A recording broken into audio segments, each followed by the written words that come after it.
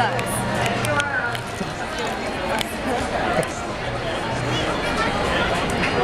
Hello, Mom.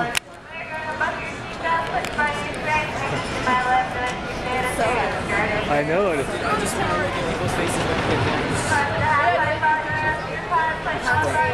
Ladies and gentlemen, in your line, please do not sit on the handrail. Sorry, team, do not sit on the handrail. Two, one.